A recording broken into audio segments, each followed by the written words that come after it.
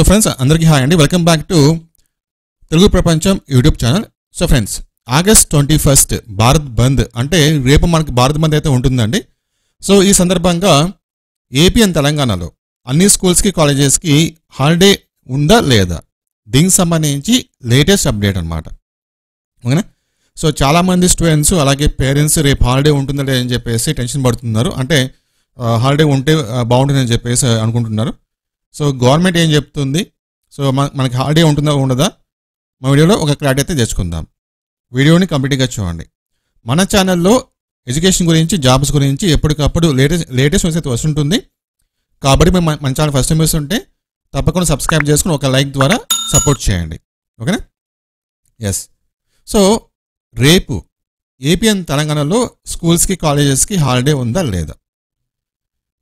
అంటే మన గవర్నమెంట్ అఫీషియల్గా డిక్లేర్ చేయలేదు కానీ రేపు హాలిడే ఉంటుందని చెప్పేసి గవర్నమెంట్ అఫీషియల్గా డిక్లేర్ చేయలేదు కానీ కొన్ని కొన్ని స్కూల్స్ కొన్ని కొన్ని కాలేజెస్ అయితే రేపు హాలిడే అని చెప్పేసి డిక్లేర్ చేశాయి.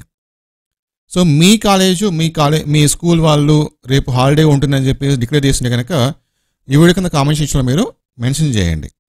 సో దట్ మనము ఎన్ని స్కూల్స్ రేపు హాలిడే డిక్లేర్ డిక్లేర్ చేశారని చెప్పి తెలుసుకోవచ్చు అనమాట సో నా నాకు తెలిసిన కొన్ని స్కూల్స్ కొన్ని కాలేజెస్ అయితే హాలిడే డిక్లేర్ చేశాయి.